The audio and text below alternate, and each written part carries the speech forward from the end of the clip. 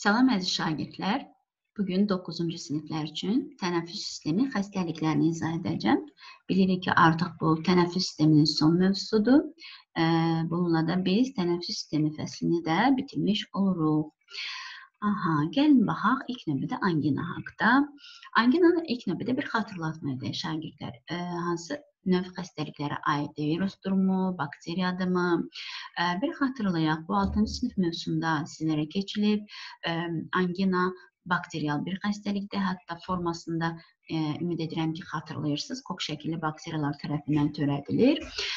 İndi gəlin bunu e, hal-hazırda daha dərinləşdirək. Bu necə bir xəstəlikdir? E, hansı sistemə ziyan verir? Bunları müəyyən edək.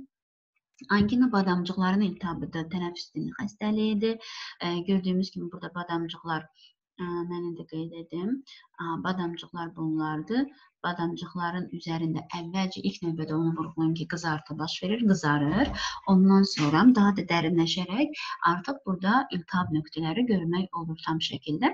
İltihabın yaranmasını biz bilirik, artıq bunu da sizlərlə paylaşmışıq. Bilirik ki, iltihab ölmüş leykozitlərdən yaranır. Çünki angina da bir bakterial bir xəstəlikdir. Bakteriya olanda leykozitlər fəaliyyətə başlayır və onları məhv edərək özləri də məhv olur və iltihabı formalaşdırmış olurlar. Bu müddətdə ilk növbədə şagirdlər bədəndə iltihabi bir proses baş verirsə, bunu mütləq yadınızda saxlayın ki, mütləq yüksək hərarət baş verməlidir. Burada mütləq olmalıdır.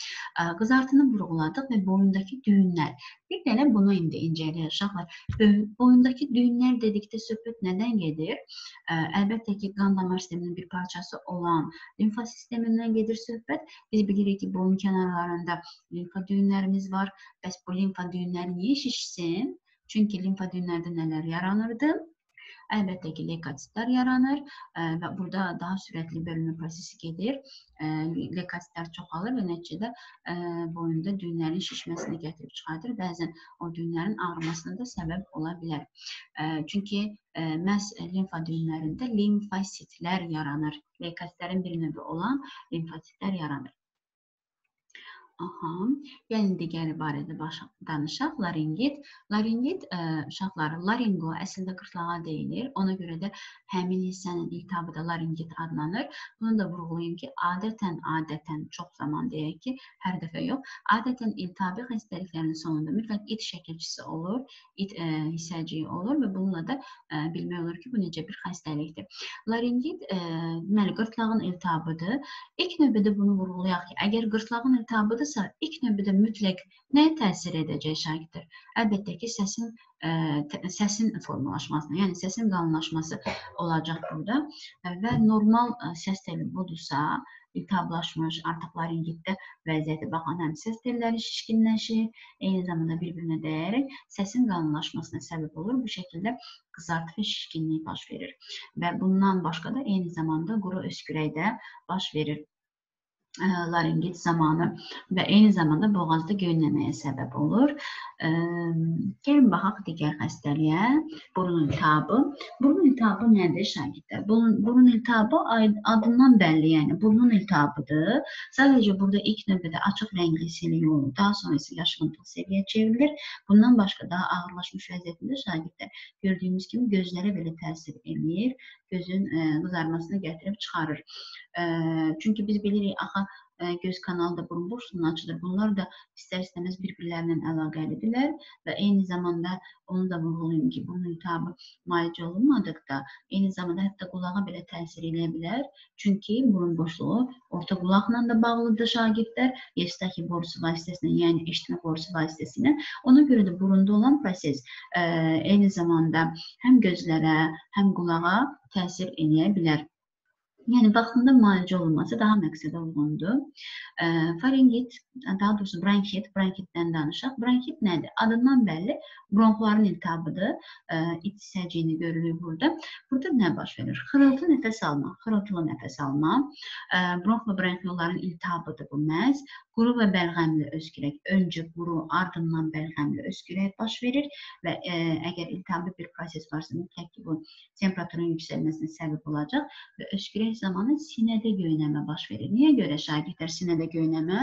Ona görə ki, biz bilirik ki, nəfəs borusu ə, döş boşluğu hissəsindən iki bronxa ayrılır. Onlar da sonra bronxollar aşağı enir. Ona görə məhz sinə hissədə göynəmə baş verir. Boğaz hissədə deyil, sinə hissədə. Gəlin görək normalı nədir? Bronxit zamanı necə olur. Bronxal, bronxların normal mənfəzi budur.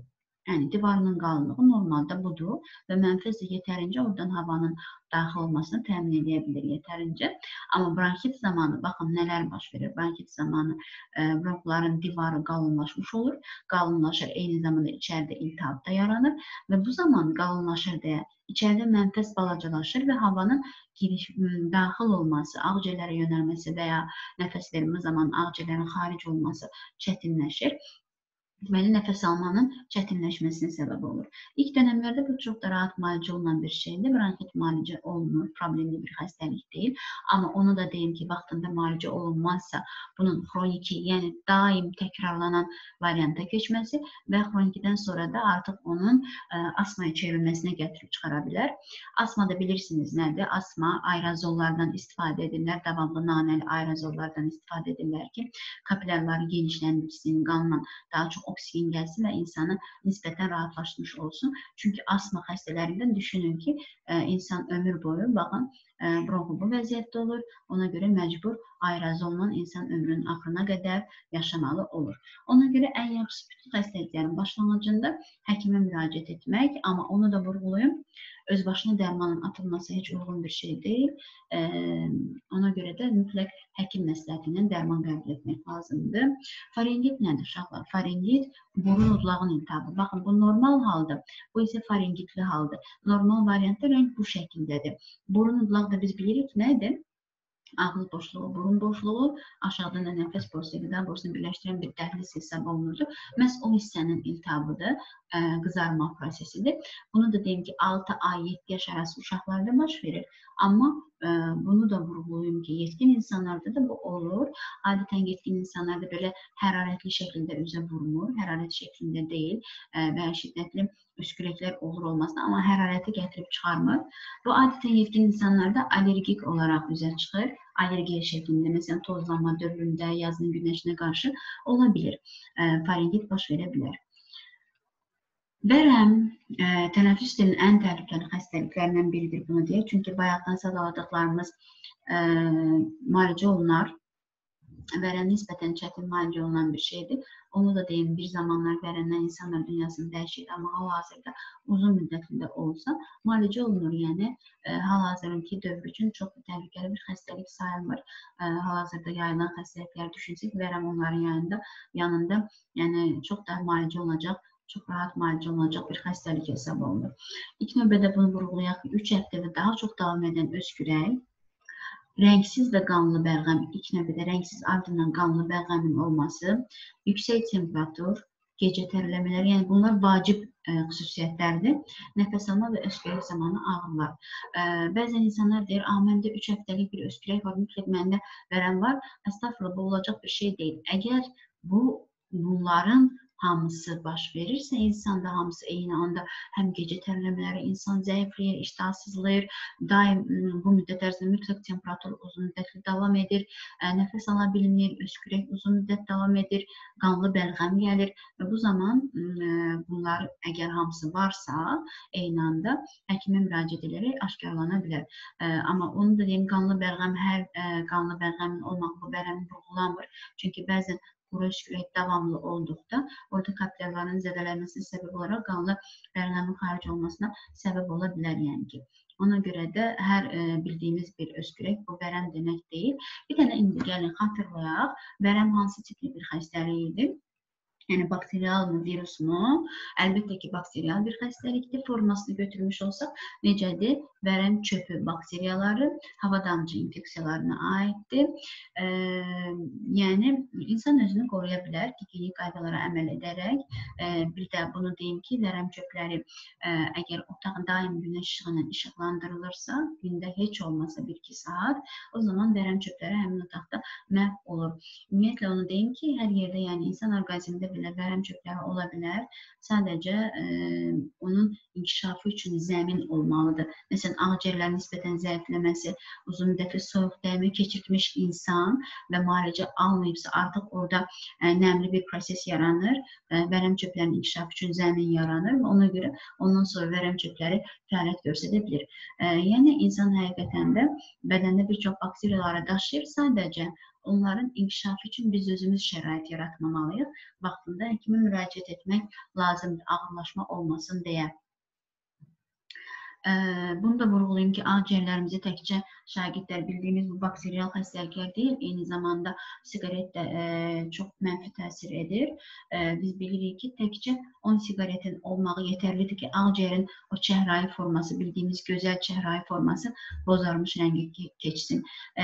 Ona görə də siqaretdən həqiqətən də uzaq durmaq lazımdır. Normal düzgün tənəffüs etmək istəyirsinizsə, siqaretdən ə, e, uzaq durmaq lazımdır, mütləq və mütləq. Çünki ağciyərlərimizdə ümumiyyətlə bütün bədəni zəhərlənmiş olur və insan özü bilə-bilə öz həyatını təhlükəyə salmış olur.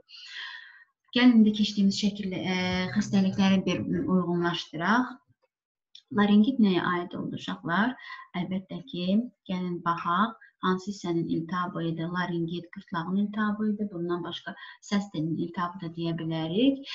Vərəm, vərəm ağciyərə aid idi. Ağciyərdə bakterial bir xəstəlik idi. Bronkit adından bəllidir. Bronxlar və bronxiolların iltihabıdır.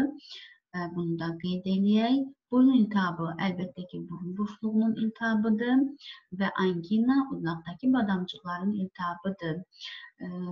Dərsimiz bu qədər şagirdlər. Ümid edirəm ki, bugünkü mövzumuz da sizə tam şəkildə aydın oldu. Diqqətiniz üçün təşəkkürlər.